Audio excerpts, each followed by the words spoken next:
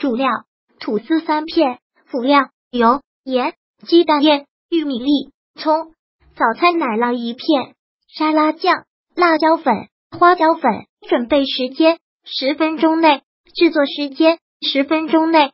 先在一片吐司上刷上蛋液，放上一片奶酪，上面再刷上蛋液，盖上一层吐司，撒上熟玉米粒，刷上蛋液，挤上沙拉酱，再加一片吐司，上面刷蛋液，铺上火腿片，撒上花椒面、辣椒面、香葱碎，最后在整个吐司四周刷上蛋液，剩余蛋液浇在面上，放进烤箱中层。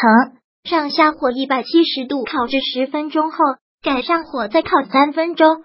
吐司表面蛋液凝固上色即可，出炉少量，铲下沿对角切开即可。烹饪技巧：烤制时间根据自己的口感喜好和烤箱脾性定夺。如果喜欢本视频，请分享并订阅本频道，访问 T T News X Y Z 获取更多相关资讯。